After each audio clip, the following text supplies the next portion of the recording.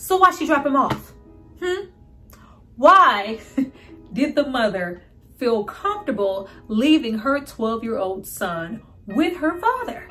I waited the entirety of this movie just to hear the mom explain why she felt okay with leaving her son with her father for a Red Hook summer. Huh? They, they, they didn't tell us. they didn't tell us. She didn't say nothing. It just, it just went off. Okay.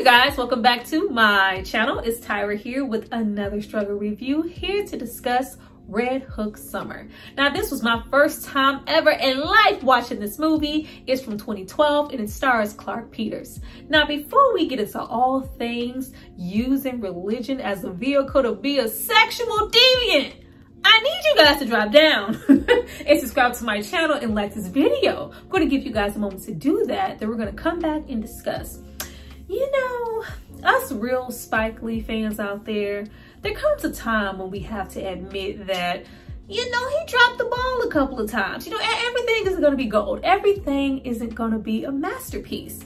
This, this here was definitely one of those times. Go back, back, back,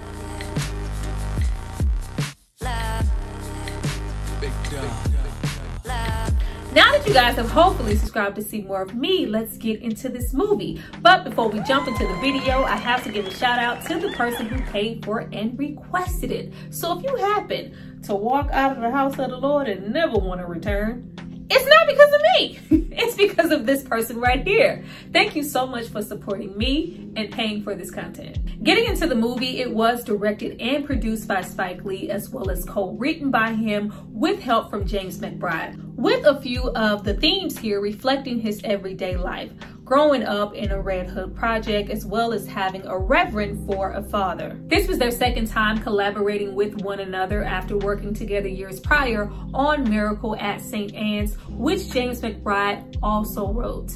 Now, this was Spike Lee's sixth installment into his Chronicles of Brooklyn film series, which includes movies like Clockers, Crooklyn, She's Gotta Have It, Do the Right Thing, and He Got Game all superior films to this one. Now, me just recently deciding to watch this film in full now was not at all by accident. This was a movie I intentionally looked over because I did not feel like there would be anything there. Now, don't mistake it, a subpar film for Spike Lee is still better than most directors on their best day because he is just that talented. But I am a fan that is guilty of sticking to the oldies, the movies that I love. Your Jungle Fevers, Malcolm X, School Daze. I will rewatch the movies he made from 86 to 2000 repeatedly. Even though many feel with Spike Lee's career there was a disconnect and maybe him losing his footing with the movies of Crooklyn and Girl 6, Argue With Your Mama, absolutely not. Troy Boy and Judy Lovely will always have a special place in my heart. For me, it happened somewhere around those later 2000s, really after we got the film Summer of Sam. It just feels like every single film moving forward was always an up and down, even though we got something like 25th Hour, Bamboozled, and Inside Man, we also got She Hate Me, The Sweet Blood of Jesus, Chi-Raq, in this film right here. And much later getting a return of gold with movies like BlacKkKlansman and The Five Bloods. Now, Chi-Raq, The Sweet Blood of Jesus were all dinged, you know what I'm saying? but Red Hook Summer took the cake for me by far as Spike Lee's worst film. Please drop down and tell me if you feel the same. Now to give Spike Lee some credit, because you know I gotta give him some credit, I do understand what he was trying to do here with this movie. Not so much the message in the writing, child, we're gonna get to that, but just a return to form for him with the movies he did early on in his career. The independent, low budget, guerrilla style filming, limited locations, equipment, crew, and resources you know, rushing to shoot on certain filming locations because you don't have the proper permits to shoot there because you don't have enough money. Or return to his she's gotta have it days. He paid for this film completely solo dolo out of his own pocket. Meant to look independent, gritty, raw, and unfiltered. This movie is about the actors and the message. Only problem is some of the actors weren't all that great, and the message wasn't all that clear. Now, we open the movie with Mother Colleen, who resides in Atlanta, dropping her son Flick off in a Red Hook Brooklyn project to spend some time during the summer with his grandfather, the good bishop. Though Flick has never in his life met his grandfather prior to this moment, he doesn't want to be there at all, and it is hurting her clearly to leave her son there. Now, why? After watching the movie, it's just kind of like, were you just hurting to leave your son there because, you know, oh, my baby, I love him. I'm going to be without him for, for summer? Or were you concerned for other reasons? I don't know because you didn't tell us nothing. Now, right off the bat, there is a strong disconnect with grandfather, the good bishop, and his grandson, Flick, aka Silas. They do not agree or see eye to eye on anything. Flick is hella opinionated, often rude, obsessed with his iPad to the point that it is permanently attached to his hand. He is constantly filming everything and everyone. A vegan and doesn't share an ounce of his grandfather's intrusive love for God, church, and religion, leaving a belief in generational disconnect. Now, the good bishop, on the other hand, portrayed by Clarke Peters here, who is exceptional in this movie. A very, very dynamic actor. There's a lot of force with him, even though he is mostly known for The Wire, Treme, The Corner, you know, all of the hood projects. He has a really, really intense background in theater, you know, musicals. So he's a very talented man. The good bishop is covering everything in religion. Not one piece of his apartment is not covered in a cross or a photo of Jesus. Though he appears to welcome his grandson with open arms and wants to make up for lost time, he is also using religion as a vehicle to do that. To the point that you go, well, damn, is the boy on punishment? What did the boy do wrong? it is almost like his mother sent him there with the intent of him learning something about himself or learning a lesson. As soon as he arrives, he is, you know, conflicted. Why is there a white photo of Jesus? Isn't Jesus black? Well, how do you know? Always questioning everything. In turn, you have the good bishop go, you are just like your mother. High key, his mother knew exactly who she was sending him to, what her father would be doing, and how he would be treating his grandson for the entirety of the summer. And I think we get clarity on that with the one Skype call that we get from her in the movie after we had not seen our own father in 13 years and didn't bother to really say too much of anything to him when we arrived. We never hear the mother say, tell your grandfather I said hello, let me speak to your grandfather. Hey, tell your grandfather I love him. It was never that type of energy. Yet and still, we sent our son there to learn something from this man. Now, though it may not be meant with any malice, the good bishop doesn't really take out any time to get to know his grandson or care to know why he feels the way he feels. He only desires to take stuff away and introduce his religious beliefs. So what if you're a vegan? We are eating eggs and pork in this house. I'm gonna tear that iPad away from your hands and replace it with faith. Church maintenance, volunteer work, handing out flyers to attract the community, and attending every single church service. Now, Widow Bishop is a respected pillar to most in the community, constantly quoting scripture, always trying to recruit new members, believing that everyone who's anyone should be attending church.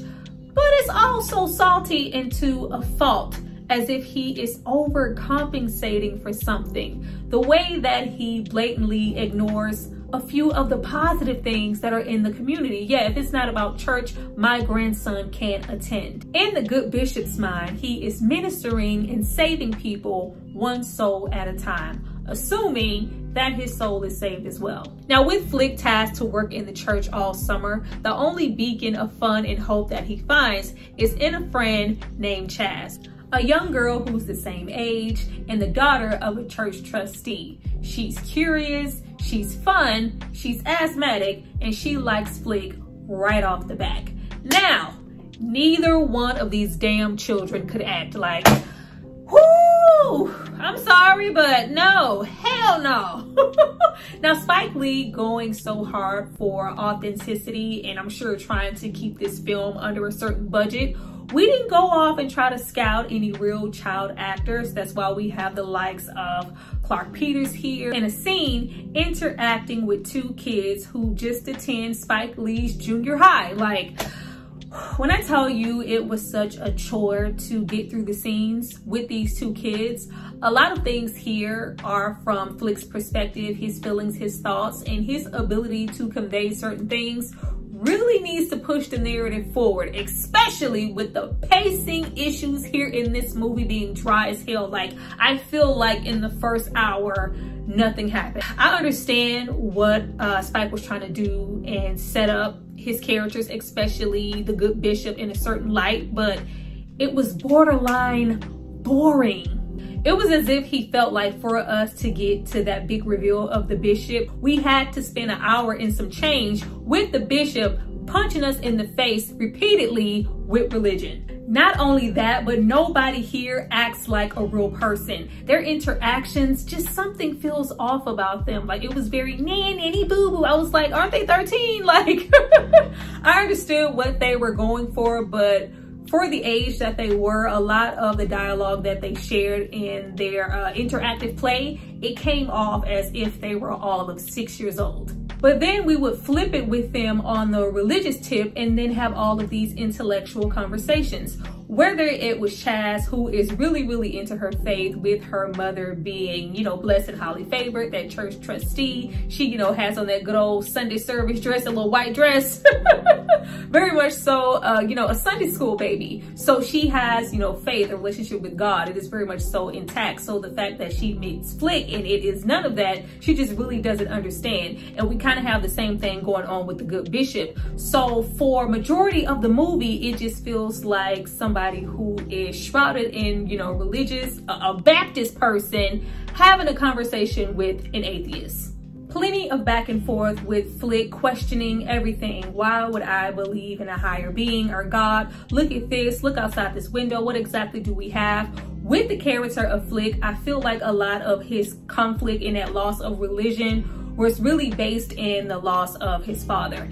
Even though the movie didn't really dig that deep into that, if there was a God and he's, you know, supposed to be this great being, why is he allowing certain things to happen? Why is my dad no longer here? Clearly, the death of Flick's father has caused him to retrieve a boast in that attitude, his religious beliefs, and also hiding behind the likes of that iPad. The iPad was supposed to represent a mask, a safe place, a shield, just like the church was supposed to represent that for the bishop. However, the writing, the execution, and pacing was just so poor that I really didn't bother to care. There is constant pushback from Flicks. This is why I don't believe versus his grandfather who is pretty much forcefully trying to make him believe. But that is only gonna take us as an audience so far. About 35% of all of Spike's scripts is just sprinkling knowledge throughout. Like this is just stuff that I want y'all to talk about in here.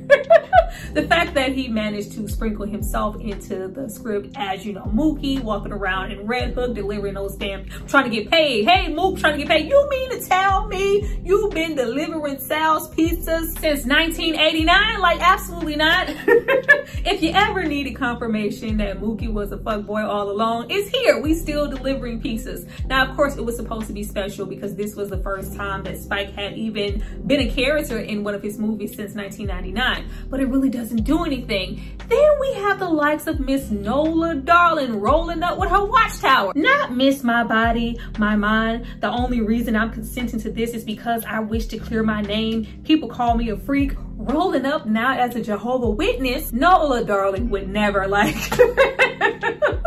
all those things really didn't do anything for me.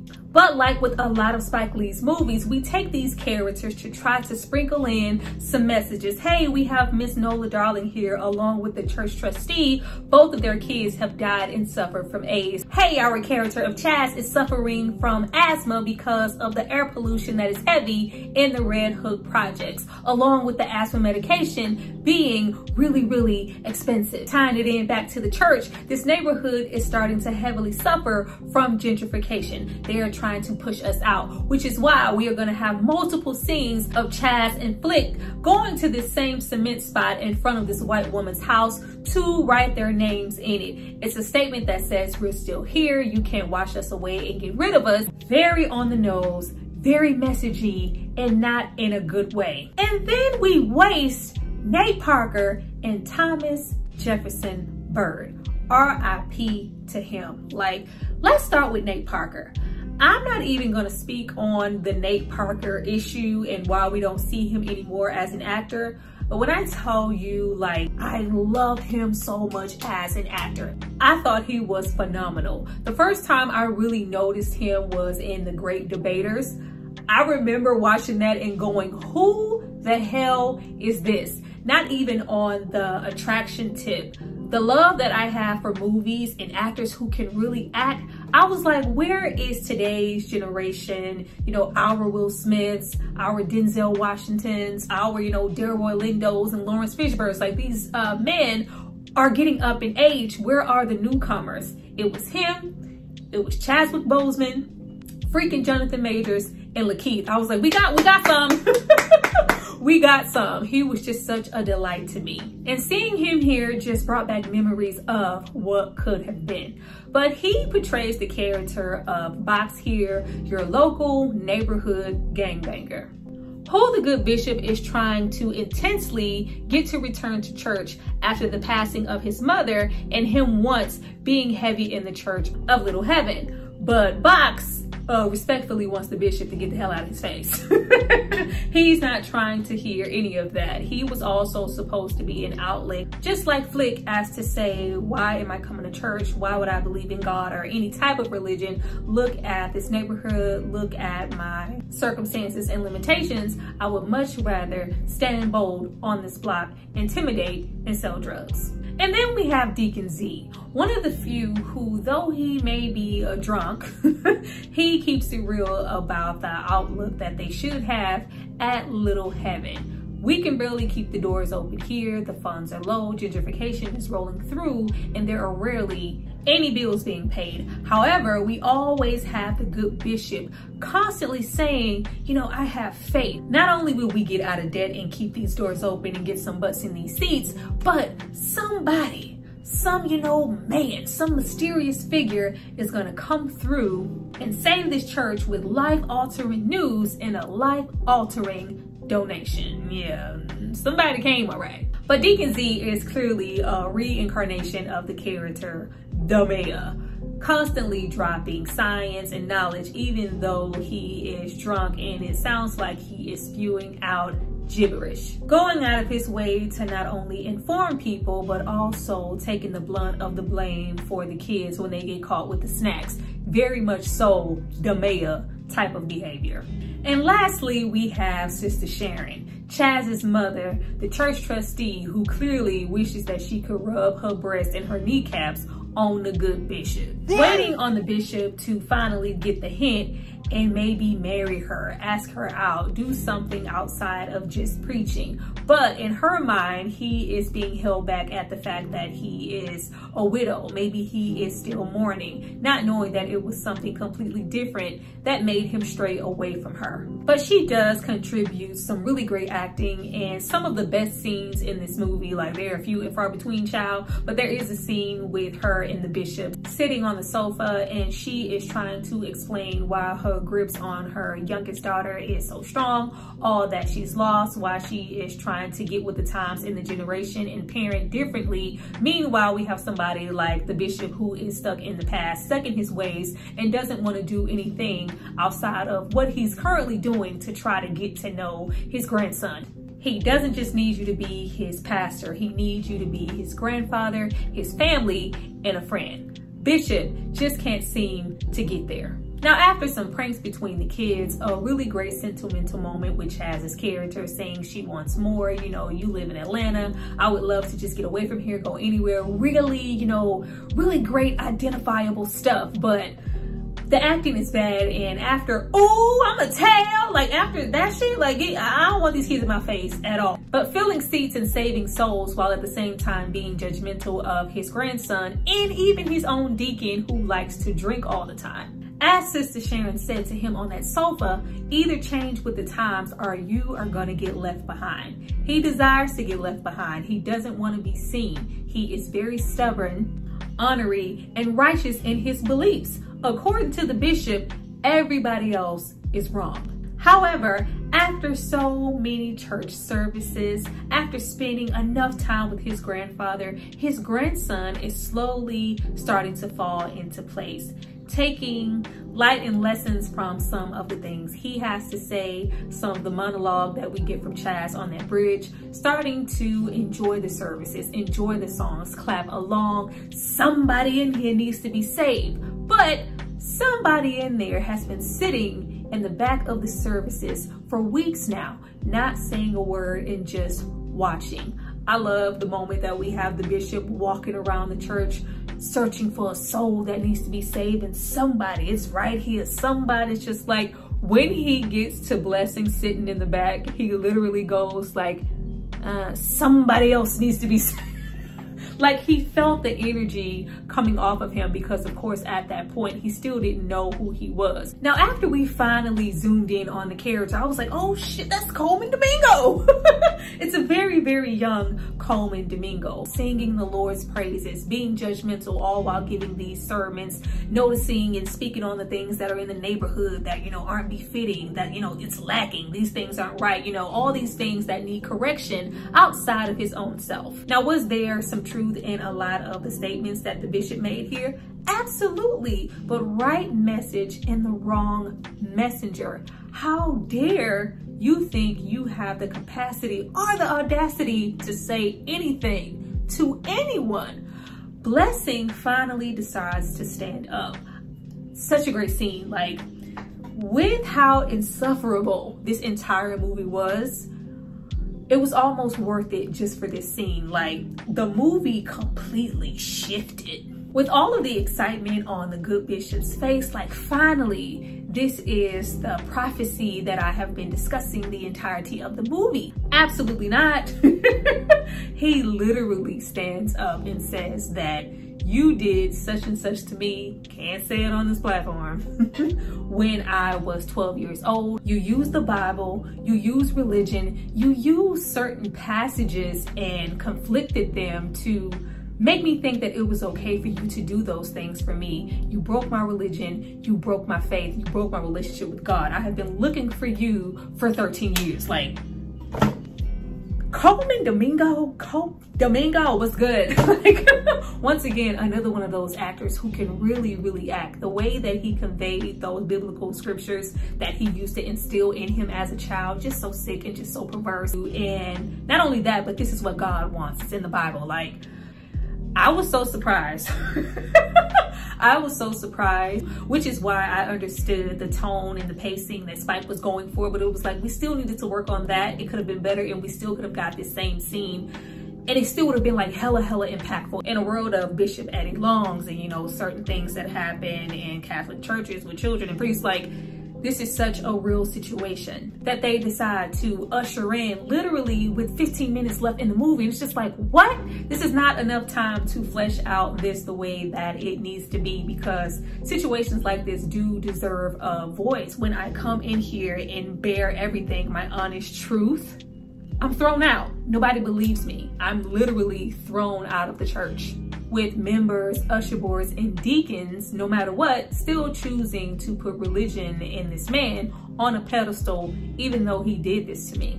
Once again, speaking to those bouts with religion and faith, what really is it if the likes of a good bishop can use them for his own sick benefit? But after that, you know, sad ass excuse of an asthma attack from Chaz, like, girl, get up. I'm sorry, like the acting from those damn kids. We do have the grandfather having no choice but to finally take his mask off. He has literally been in hiding this entire time. We find out that his church in Atlanta figured out exactly what he was doing to Little Blessing, paid off Little Blessing's family, and also paid and gave him a round trip ticket to go off, disappear, and live his best life. He gave a portion of that money, most of that money, to his daughter, and she bought a house in Atlanta and hasn't really low-key spoken to her father ever since. I ain't even gotta speak on the church doing what they did. Like, you already know what it is the scene with a uh, little blessing like it was so heartbreaking. It, it goes to show that you know like say less. We didn't need to see any you know grotesque situations happen. We didn't need to hear anything but just to see him excuse the behavior when he is explaining it to his grandson of course at that moment being honest with himself for who knows how long saying that yes this did happen but you know i'm fixed. Like what I wanted him to go into depth and explain to us how he was cured and how he was fixed. Because if you were so fixed, then why the hell are you lying? Like you have a whole brand new fucking identity. Um, but just to see him try to bribe this 12 year old, have him, you know, read those scriptures from like, it was just, it, it was so sick. It just shrouded all of the allure that was around this holier than thou figure. Like your whole persona is false. It was as if he was now using this fake persona along with this religion to make up for what he did. You cannot go back. You are not fixed. You are ruined. You are sick. Like just, uh, it just really heavily uh, made me beg the question of why did she send him there again? I feel like the mother sent him there to have a better understanding of who she is, why she may be the way she is, but did you really even have any clue that that conversation would come up? The good bishop had no intentions of telling anybody that, let alone his grandson, but just maybe trying to get her son to drop his mask and you know who he has became since his father's passing and get that iPad out of his face. But there was just so much more of a conversation that needed to be had as to why even though she clearly couldn't be there and didn't want to go there she sent her son there believing that it would do something for him. Of course in the end it did but how would you know that it would and how would you know that your own son would be safe? And yet again this may be her way of coping and keeping up this facade of what she wants her father to be and who he actually is which is why we you know took that money built our new life and really didn't say anything about it. You know oh give and take with your grandpa. Girl what are you talking about? Get me the hell out of here. It really made me think of those church members or those family members who may have you know that uncle that brother, that aunt, but we continue to allow our kids, cousins, aunties, and sisters to go around this particular individual in the family or in the church, even though we know, hey, way back when, this person did this to this person. Like, now, rightfully so, the bishop gets a well-deserved ass whooping. he gets beat up. Nate Parker box rolled up with them hands. I really enjoyed that scene. Like I was like, yes, this is what we needed Nate for. Like Spike, don't be over here wasting these good old actors. Like the delivery of those lines were executed so well. You know, this is why my mother, you know, never really trusted you. Everybody in the community could low-key see that there was something off about you. We just really didn't know what it was. And now we find out that it's this. Clearly the word in the church has spread around the neighborhood and we do have people who are still choosing to believe that it is a flat out lie. You are still the good bishop. Why are these people trying to, you know, throw dirt on your name? It's going to be okay. We are still going to stick by your side no matter what. And then you have the other side that is just like, you are wrong. I rightfully believe that you did this to this man. Like, it's completely undeniable. You should be ashamed of yourself. You should be thrown out of this community. But I love that even in the end, amidst the ass whooping, it is still rolling over into the idea that religion can go both ways. Even though he used religion in such a sick way, it still saved his ass in the end for somebody like Box who clearly wanted to take him out practice restraint and not do so to honor the Lord as well as the relationship that he and his mother had with him. Yes, I'm gonna crucify you here, but I'm only gonna take it so far really really great scene. I love the direction of him walking all the way back to the apartment building. Like it just started to get good out of nowhere. I was like spike we got like five minutes left in the movie. Sit down. But in the end we sort of have the favor returned i guess with the bishop deciding not to press charges on box or identify him in a lineup along with his grandson. I was like why she here, Ike? why she here? We got all the way here just so we can say she like, oh, oh, oh, well, like, I just didn't know what the movie was trying to say about the good bishop and how they wanted us as an audience to look at him because we have been looking at him through the perspective of his grandson. He wasn't disturbed.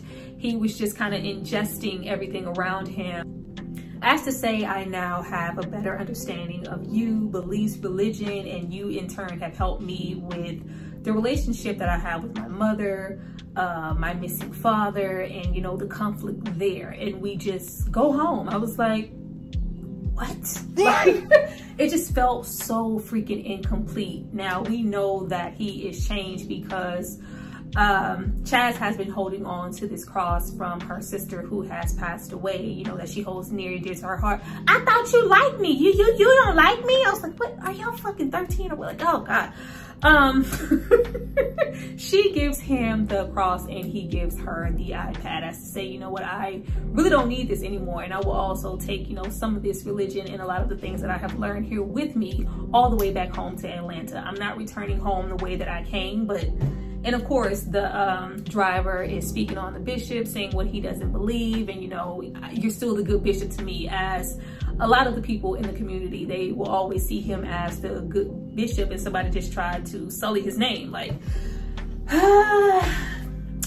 but that's just, it just felt so incomplete and not in a way of those ambiguous, you know, jungle fever, School Daze type of endings where you feel that it's profound and you love it. I was just left feeling so empty here and was like, where is the other five minutes of the movie of him walking into his house in Atlanta and his mama having a conversation? Like, I just knew we were gonna end off on that, but they didn't give us that. We end off on a collection of photos and videos that he has taken during his summer in Red Hook.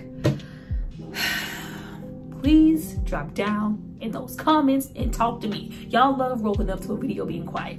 I don't need y'all to be quiet this time. I need to hear all kinds of theories and thoughts. Please, please, please, please help me out. Well, you guys, that was my review for Red Hook Summer. I hope you enjoyed it. Please drop down and tell me if you did. Like, give, give me your thoughts. give me your thoughts. I cannot wait to read them. Remember to like, share, and subscribe because it helps me out so much, you guys. I am trying to get to 25K before this year is out. That would be great. You know, I really desire 30, but YouTube stay playing in my face. They, they, they, they really do. but it's okay. We are going to always keep going and do what we can. I appreciate you guys so much for watching this video. I see you next time. Bye.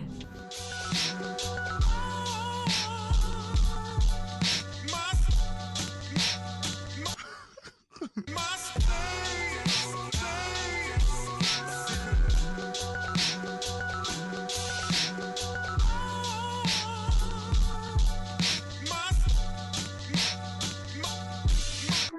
sure.